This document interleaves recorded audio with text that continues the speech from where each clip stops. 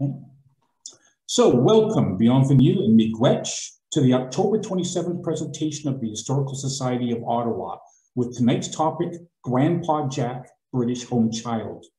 Tonight's uh, speaker is Emma Kent, uh, who will talk about her family ties to the movement about a century ago to find homes across the Commonwealth for orphan children in the UK and for children of poor families. Uh, if you've been attending our HSO meetings since we've been broadcasting by way of Zoom, uh, you'll remember Emma. She was a guest speaker way back in January where she talked about Camp uh, Woolsey. Emma's a graduate of Carleton University with a BA in history, and you can visit her website at emkent67wixsite.com. Don't worry about writing that down. I will post it uh, in the chat in a few minutes. but you can check her website, a lot of great history there and some updates on her previous talk. Uh, at the time Emma spoke about Camp Woolsey, she was a stranger to most of us, uh, but we were so impressed with her meeting, uh, with her presentation, I should say, that we, uh, the board of the HSO asked Emma if she would join the board, which she accepted. And uh, that's exciting because she's added some youth and some uh, fresh ideas to our board. And I can assure you that we've been keeping her busy ever since she's joined our board. Uh, and so maybe that's a question I'll ask tonight, uh, and is how she managed to find time to ever uh, do tonight's presentation to research for it, given how busy we've been keeping her. But with that in mind, will you please welcome our guest speaker tonight, Emma Kent. Thank you so much for that wonderful introduction. I'm just going to share my screen and then we can get started.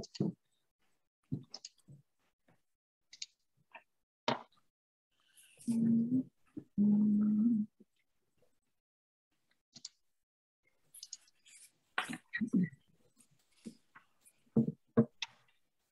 So in 2011, the Canadian British Home Child website estimated that 10% of the Canadian population were descendants of the home children, and many are unaware of their heritage. Growing up, I don't think I understood that this part of Canadian history was my own family history I knew my dad's dad, my grandpa Jack, was English, but it wasn't until I read the book Dear Canada, Orphan at My Doorstep, which is the fictional tale of a family in Guelph receiving a home child, that my dad really started to open up and talk to him, talk to me about my grandpa's story. I think this was with the first time I heard the term home children, and I don't remember learning more about them until about university. This is how I remember my grandfather. One of these photos was taken to a on a family trip to 1930s Farm Museum. And I fondly remember going on family fishing trips where he would come along to watch, read, and tell stories. My brothers and I loved exploring his house because I don't really think he ever got rid of anything. In 2007, he still had the fridge he bought in the 1950s running in his kitchen five TVs in the basement, and about 10,000 books. Before my grandfather passed away in 2007 at the age of 91 or 96, he spent a couple months using a tape recorder to record his early memories of coming to Canada and being a home child on the Hookers family farm in Quebec. We're very lucky to still have some of those tapes, and my mom, my mom spent hours typing out those stories. Today, I want to use his memories to help tell you his story.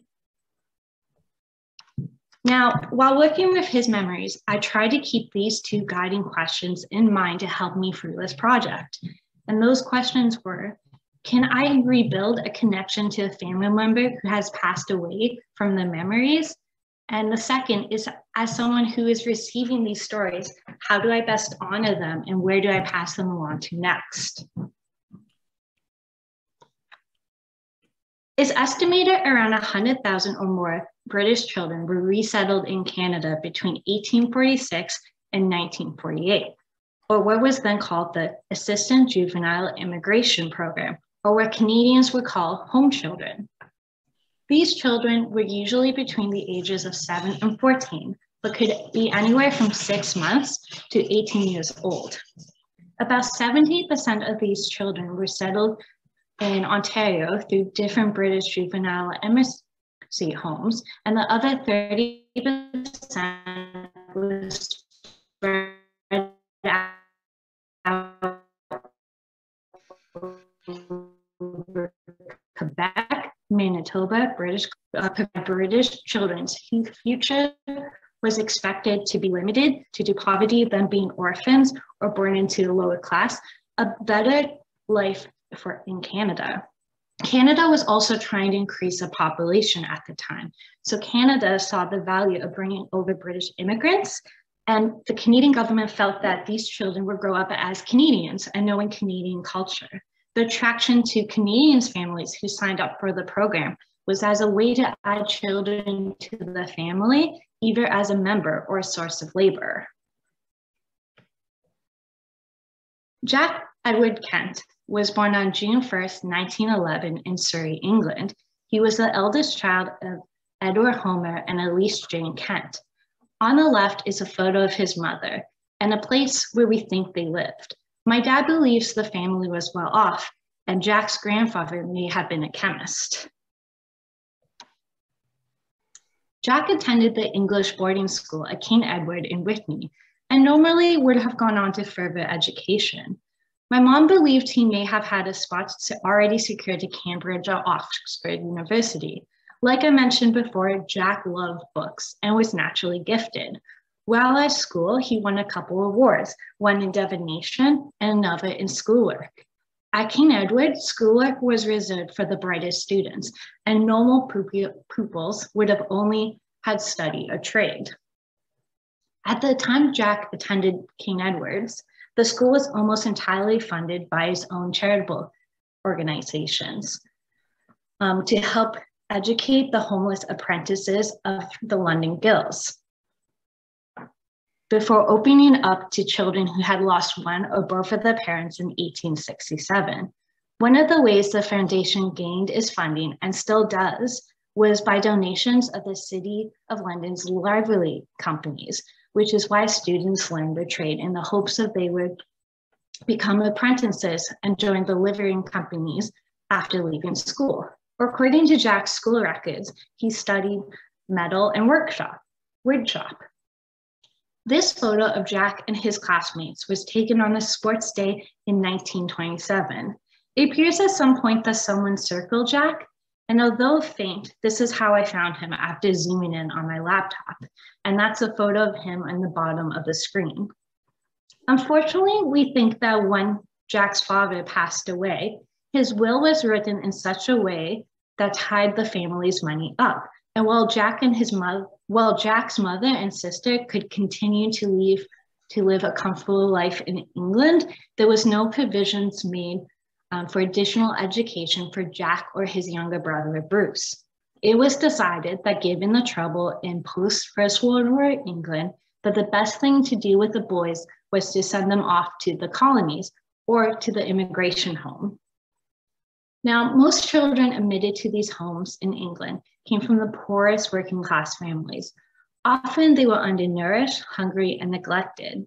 There's a misconception that most of these children were orphans, but less than 5% were true orphans. Most had one or both parents alive. Often there was just a lack of money and public social support available for their families. And families and parents or relatives had to choose whether to admit these children to the immigration homes instead of the workhouse have them fall onto the street, or have them fall into prostitution. Jack's memory. Well, possibly the first thing I should say is how I came to Canada. I was in boarding school in the south of England. My eyes were bad, and I was told to get on the land. So my mother came down to the school and said, There's nothing here for you in England. Maybe you should go to Australia. Well, I said, Bob Christian, my best friend, he's thinking of going to New Zealand. Maybe I should go too. So it was agreed. The headmaster took me down to London. We filled out the paperwork. The time came and I left school. I went to Hadleigh, the Sally Ann farm in Essex. And I have to talk about Hadleigh. It was a very pleasant place. And for a while, we heard the New Zealand rep was coming. Good, I'm happy. Today I'm here tomorrow I'm going to New Zealand. We lined up and he said, I'll have that one. That one's okay. Oh, don't want him. He wears glasses. They said to me, Well, what do you want to do? Do you want to go home or do you want to go to Canada? I said, I'll go to Canada. And that's how long it took. Once in the immigration homes, the children will receive good food and new clothes and some social training in hopes of once they arrived in Canada, they would look like a well-groomed, a group of well-groomed school children. These homes were often in urban areas or cities with very little space to keep a garden. If possible, children would visit a farm to learn about animals. Most agencies would try to keep the children for less, for a few months, um, but less than a year to hope to avoid them from becoming too institutionalized. The goal was that the children would leave with some education before they arrived in Canada. Boys would learn about farming, and girls would learn skills needed in the home. However, due to the great difference of British and Canadian farming, most of these skills ended up being useless. So after Jack graduated from King Edwards, he was sent to the Salvation Army training farm at the Henley Colony in the north of England to learn about farming for a few months. His best friend at the time, Bob Christian, decided that they would like to go to New Zealand. But when the New Zealand rep came by to select the boys, Jack was rejected because he wore glasses. So both he and Bob decided to come to Canada instead. And this was where that photo was taken. Jack's memory. On May 1st, I went to Henley. We were given a little idea of farming, but very little. Most of what we learned was done with a hoe. I think the Salvation Army used these big gardens to grow fruits and vegetables for London. We had a day here and there with the animals. I remember one day I spent with the sheep. It was on a long sloping road leading down to the sea, and I was told to make sure the sheep didn't get into the salt marshes or it would kill the lambs. I spent the whole day chasing sheep and I had all the sheep I ever wanted to see. We spent a day here with the horses and a couple days with the cows, but nothing was of really any use to anyone, shall we say, once we got to the colonies. Even the horse-drawn vehicles were different. In Canada, we used teams. There, they had one horse in front of the other. Jack's memory. I left off earlier when I said I would go to Canada. Well, time moved on and we were finally gone a train in London and we head towards Liverpool where the ship was leaving for Canada. I don't really remember how now, but I passed the immigration and I passed the doctor's exam. We loaded on the ship and we set sail. Jack came over to Canada on the Montclare, a Canadian Pacific liner, which is shown on screen from an old postcard. Sometimes the British and Canadian government would cover the cost of travel for the home children, and other times it was a different juvenile immigration agencies. Often children would be packed with a bag or a truck for the new life. Once in Canada, the children were sent to different receiving homes across the country until farmers came to pick them up or they were sent to the destination. Children could also be returned to the receiving home if there was problems and assigned to another farm. Jack's memory. We arrived in Quebec. There we eventually went through customs, etc., and we were put on a train and eventually got to Montreal, to a hostel there, we spent the night at the hostel and walked around a bit on Sunday. We were all corrugated in a large room. And the farmers were up on the balcony looking around and saying, I'll take that one. That one looks good to me. We were never introduced to anyone, of course. Unfortunately, we know that Bob and Jack ended up at different farms, but they exchanged letters for a time that my Aunt Gail found was sorting through Jack's things. Home children were in demand, and it said for every home child sent, there were at least seven applications. Mm-hmm. Families who took on home children had to sign a contract that required the child be housed, fed, clothed, and sent to school. A small fee was paid for fostering younger children, and older children would help with chores, and more extensive farm labor would require adolescence. At 18, the child would be discharged. Once placed, younger children often called their new family members mama, papa, aunt, or uncle, and older children who had joined the workforce of the farm would call them miss, mister, um, and master. Some children did find loving homes, but others were not so lucky. Some agencies would make yearly visits to check in on the welfare of the child and see if the contract was being upheld, but this had little effect. Jack's memory. We got there, and I was introduced to Earl and his wife. And as I said, I later found out they had only been married two or three weeks. And Earl took me around and showed me the barn and yard and things like that. And we had a meal. And he said, Well, Jack, it's time for you to go and get the cows. And I looked kind of stupid. He said, They're in the back field. I went to the back field, and it was a good thing the cows knew the way home because I didn't. I brought them back and I watched them. They all fell into their own stalls. Earl and Vina did the milking, which I was soon to learn and do. After the after when the milking was finished, Earl said it was a nice night. Let's go and pile a little hay. He went out and started piling the hay, and I got a fork and I was trying miserably to help. And we went on till about nine o'clock. That was the end of my first day in Canada, the first of many, many.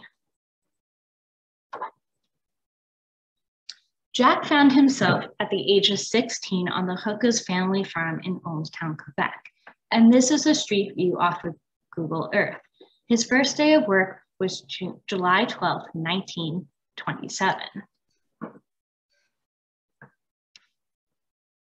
Jack's memory. Once again, there were strange things for me to learn. And as I said, Earl and Vina had only been married a short time. And I couldn't have hit a better farm because Many of the boys who came out with me for the Sally Ann and others ended up in horrendous things.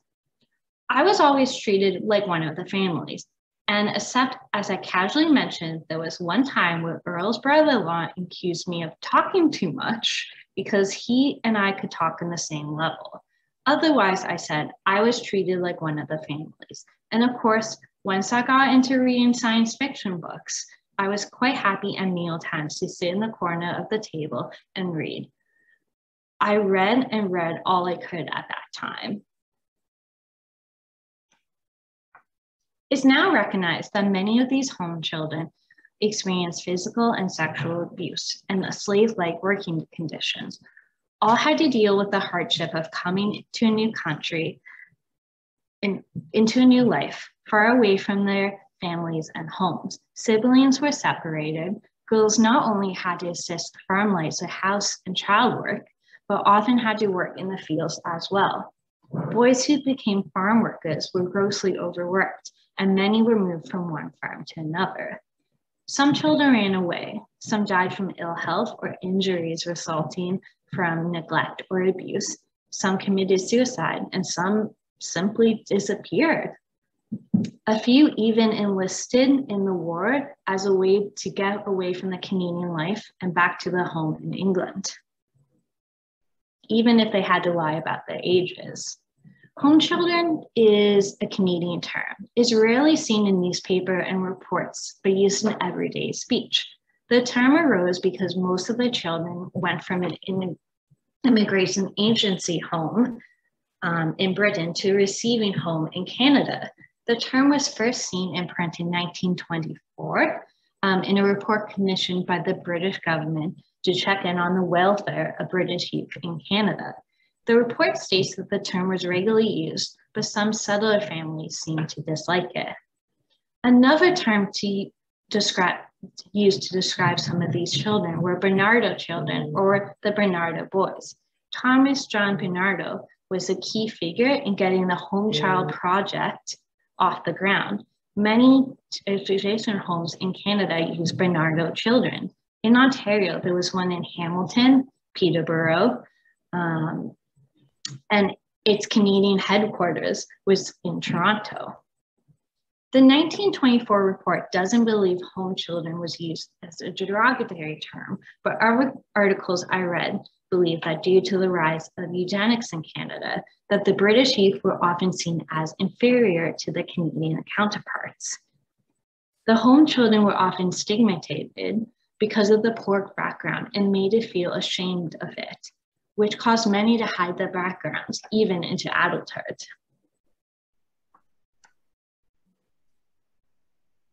Jack was lucky. He had a lot of fond memories of the farm. He liked the family and they treated him well. He had books to read and he enjoyed the projects he took on, like replanting trees by the house raising foxes for the fur, or collecting maple sap to sugar off into syrup, which is a love I also share. Jack's memory. The first time I went to Montreal after being on the farm for about a year was when I got word that my brother, my brother Bruce was sailing for Canada. So I made arrangements to go to Montreal to, to the same hostel where I first came. So I got down there and I went to meet him, but he wasn't there. Oh no, they said, we never send brothers to the same place. He's gone to Ottawa, a little town, a little village outside Ottawa. Well, not much I can do.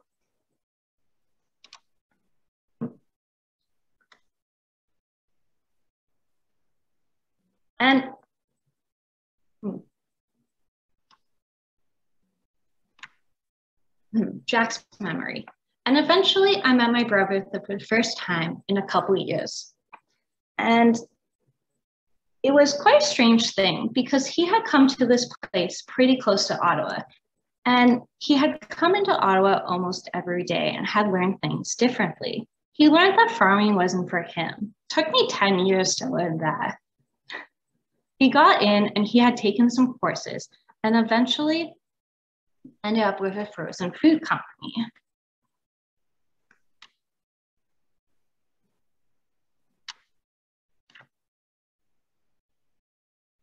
We're not totally sure what Bruce's early life around Ottawa was like, but we do know that Ottawa had one of its own receiving homes called the St. George Home.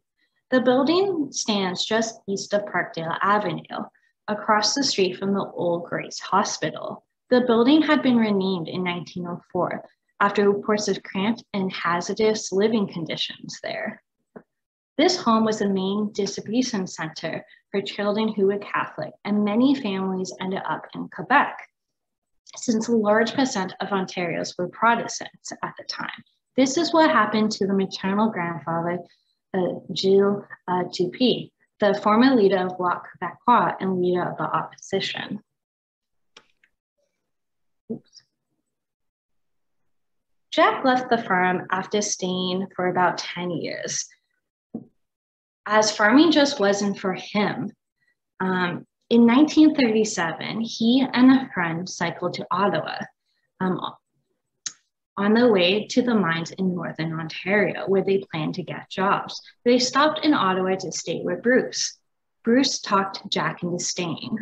Bruce was seeing my great aunt Pansy at the time, and Jack took Jack along to the church one day to meet her, her mother, and her sister. Things didn't work out for Bruce and Pansy, but Jack started seeing her oldest sister, who was my grandmother, Violet. They got married, and these are all photos of my grandmother. Jack spent some time working for Clark Dairy and then for a construction company where he worked for over 50 years, even spending the war years in Canada due to his role. Jack was never very close to his family, and this may have been the separation, or it may have happened anyways. My dad said that even though, um, even though Jack and Bruce lived in the same city, they mainly saw each other at weddings and funerals. Jack would send some letters to his mother back in England. And there were some short, short phone calls usually around Christmas. His mother originally thought that the boys would come back to England and only spend a few years here in Canada. But given the 1930s economy, this just wasn't possible. Jack and Violet went to visit sometime in 1973 for the first time since Jack left as a boy. And Jack's mother passed away sometime in the late 1970s. And my dad isn't sure if they were able to make it back for another visit before she passed. He made more trips to visit his siblings and became fondly remembered by his nieces and nephews over there. The program was largely discontinued in the 1930s, but not entirely terminated until the 1970s. In the following decades, research was done to expose the abuse and hardship of the home children and their families. It wasn't until the late 1990s where the full scope of the Home Child Project was really understood during a preliminary inquest in England. In a total, 150,000 children were sent to Canada, Australia, New Zealand, and South Africa. So, what has Canada and other countries done to, to remember these children, which some of us here are descended from? In Australia, these child migrants are part of a much larger group known as the Forgotten Australians, a term the Australian Senate has used to describe the estimated 500,000 children who were brought up in orphanage, children homes, institution, or foster care. In Australia, in, in 2001 2004, the Australian government published two reports where it recognized the need for a public apology. They contacted 400 out of the estimated 7,000 home or child migrants for advice. An apology took place in 2009 by British or Australian Prime Minister Kevin Rudd. And a one million pound travel fund was set up by the Australian government for former child migrants to go and visit their family in the UK, which the Australian government later added to. In 2010, the then British Prime Minister Gordon Brown apologized to the home children, and seven Canadians traveled to London to hear the apology in Parliament. Brown said the following To all those former child migrants and their families, to those here with us today and those across the world, to each and every one, I say we are truly sorry. We are sorry that instead of caring for them, this country turned us back. And we are sorry that those voices of these children were not always heard. The cries for help was not always heeded, and we are sorry that it's taken so long for this important day to come, and for full and unconditional apology that is justly deserved. As Prime Minister, I will be apologizing on behalf of this nation. Brown said he would meet with former child migrants or home children to listen firsthand to their experiences. The the Canadian government did things a little differently. In 1998, the Ontario Heritage Trust added a provincial heritage plaque to the home children to the home children on St. George Home in Ottawa, explaining the history of the children. The following year, the federal government described the immigration of the home children a natural historic event and placed a plaque commemorating the event in Stamford, Ontario. These plaques were a great starting point in recognizing this tragic part of Canadian history.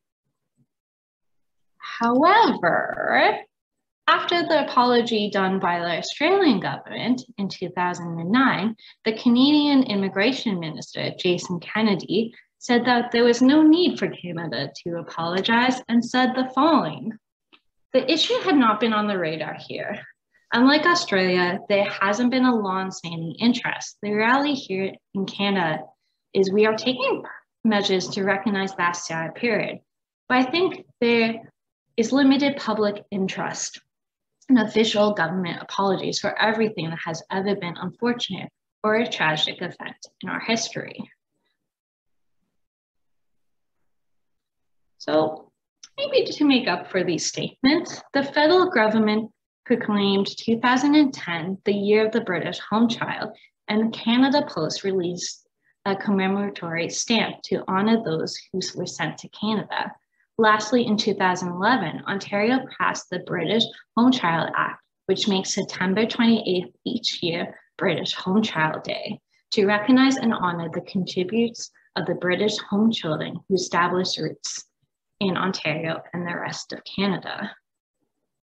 So the lack of apology in 2009 is wrong on many levels, but the one I want to focus on is when Kenney said that Canadians aren't interested. Because clearly the families who were affected want to remember, and they are doing a lot to stay connected. There are Facebook groups for families to connect and to share research. There are also a number of TV specials and documentaries online, and the Library and Archives Canada has a database for Canadians to search their roots. If you have time, these could be great resources to check out and to learn more. Now, it wasn't until 2017 when the House of Commons passed a motion to recognize the injustice of the Canadian home children and recognize their contributions of these children and their descendants within Canada. Jill Doucet uh, has spent the last few years raising awareness for these home children and through petitions and campaigns. He eventually made a personal appeal to Prime Minister Justin Trudeau for an official apology by the Canadian government to match what the British and Australian government had done. On the right is a photo of him and his grandfather, who was a home child himself. So did Jack's home child life have it, does Jack's home child life have an impact on my family now? I think so. Education was always extremely important to Jack since he missed out on his. He made sure to leave enough for all his grandkids to try post-secondary. And we never really had a strong connection to England. To me, my family tree on my dad's side starts with Jack. Now, I'm, I'm hoping to try something with you. I want to share the first memory again, but I'm hoping to let Jack tell it himself through a recording he made almost 20 years ago. Well, possibly the first thing I should say how I came to Canada. I was in a, uh, a boarding school in the south of England. My eyes were bad. I was told to get on the land. So my mother came down to the school and she said, There's nothing in England. Maybe you should go to Australia. Well, I said, uh, My uh, Christian, Bob Christian, my best friend, he's thinking of going to New Zealand. Maybe I should go too.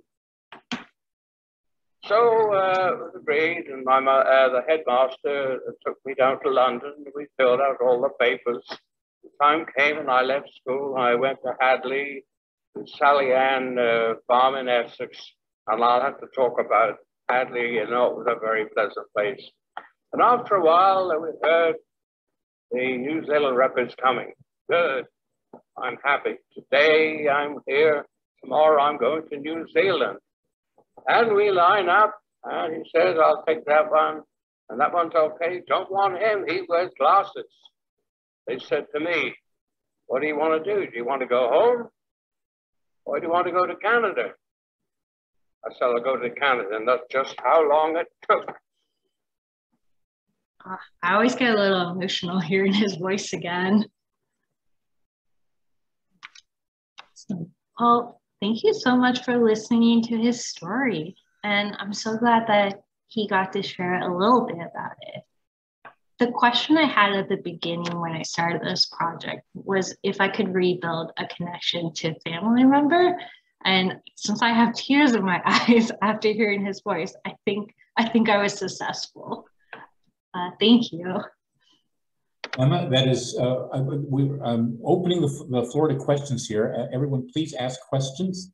Uh, but I just want to say one comment as we wait for some questions to come in. It's actually amazing that you recorded your grandfather so few people do that. My experience with genealogy is that people love to delve back into the past.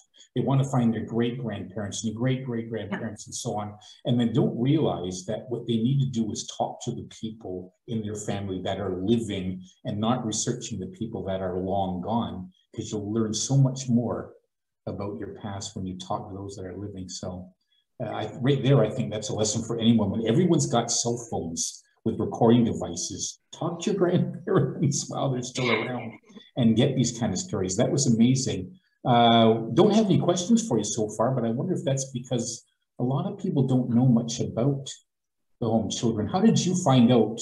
Uh, like, when did your grandfather first talk about this? Were you, were you young or were you older when you decided to talk about the home movement? Well, first I have to thank my, my mom and my dad because they were the ones who gave Jack the tape recorder and showed him how to use it. Um, and yeah, they were just really, it gave him something to do and it really empowered him in the last year, I think. So I don't know if uh, my grandpa talked to me about it, but like what I said is, um, I didn't read a lot growing up until I found um, the Warriors books and then the Dear Canada books. And basically, the Dear Canada books is the diary of a girl who's living through an important moment of history. And my dad gave me a whole stack of them. And there was one about a family who received home children. Uh, and I think that's when my dad like first started talking about it and mentioned it. Um, and I think there was always like little pieces as we went to a farm museum once um, because Grandpa Jack had worked on a farm and all that. But I think it was much later and when I when he also started recording these memories. I think it was a little bit at a time. Yeah. Mm. I remember the first time I, I hadn't heard anything about the home movement till one day. It was purely coincidence. We had been doing research at the one museum I worked at and found out that one of the servants was a home child. It was her. It was uh, Carrie Furs was her name. And we hadn't, I had never heard of the phrase home children until that day. And we did a little bit more research. Wouldn't you know that very same night going home, there was the headline in the convenience store right across the street from where they have all the newspapers from all over. And the headline in the one British paper was uh, Australian Prime Minister apologizes for the home movement. And I'm sure any other day I would have walked past that headline and not even thought about it, except that I'd heard the expression of home children for the yeah. first time that day. Uh, and was surprised that it was huge news in Australia, that people in Australia uh, really wanted uh, to give an apology. Do you have? Uh, it seems like your grandfather had good news stories about Canada. Do you know anything about some of the more negative stories that maybe some of the other home children might have had to go through? Yeah, I've. Um, with your dad, it seems like it's mostly good news, which is really pleasant. I've heard some bad stories in yeah, the past, and that, Australia. That's one of the things we always talked about in the family is like how lucky Jack was, and that was always um, reinforced that like Jack ended up in a good farm. Uh, the family treated him really well, and that was always reinforced. I have heard other stories, and there are documentaries online that I think would speak better to it. Um, like I remember even the Dear Canada book, like did talk, like it talked about the siblings being separated, um, and like one child ended up in a really good farm and then one the younger brother ended up in a really really rough place where he wasn't um, fed um, as a punishment and he eventually ran away but i know there's a number of facebook groups and i think those could be a really good starting point for those who want to kind of listen to more yeah, just seeing a couple people in chat now. Uh, if you get a chance, take a look at the chat. A couple people talking about grandparents that came over. Uh, the Barnardo boys. Someone saying, yeah, someone just maybe just someone noticing here. He mentioned that uh, uh my father, who was a home child, never talked about until 1989 when I finally figured out and questioned about it. So yeah, some people. Uh, oddly enough, it was Carrie Furs, although I never met her because she was the servant back in 1915 when my, my museum was restored to that period. But uh, the people that hired her as a caretaker later on, they made her part of the family. The one person actually named their grandchild, or rather their child, Carrie, after the father's servant, Carrie Furs, because they loved her. She was uh, such a, uh, an important part of the family. And the other one that worked there was also home child, uh, uh, what was his name now? I can't remember his last name. Horace, Horace Pamplin. Uh, and he ended up dying about 10 days after Vimy Ridge. So he served with the Canadian Expeditionary Forces, but he was a British home child. Uh, so yeah, that's just odd, uh, memories that I have. The one memory that someone did mention to me before is that they'd heard that when brothers were sent over, the one organization, I don't remember which one it was, it wasn't the Barnardo Boys, but they wouldn't give the addresses of family members. They, for some reason, they tried to keep them secret. And I noticed you mentioned that Grandpa Jack tried to find your brother when Yeah. he moved to Ottawa. Did he have a challenge finding out where his brother was, or were they open to giving him that information? Yeah, so at the when he went back to the hostel, the same place that he had arrived, um, he, I think he went with the intention of picking up his brother and like bringing him to the hooker's farm.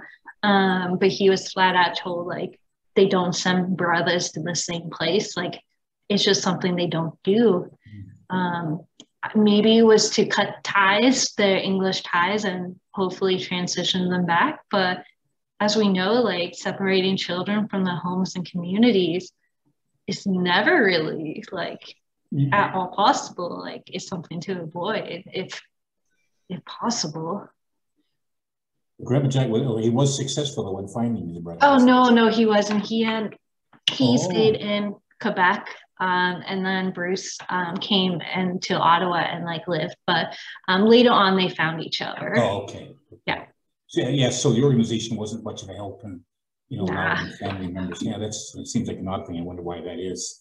But anyways, uh, well, thanks everyone for joining in tonight. I guess if there's no questions, that must mean everyone's satisfied with the presentation. I found it really heartwarming tonight.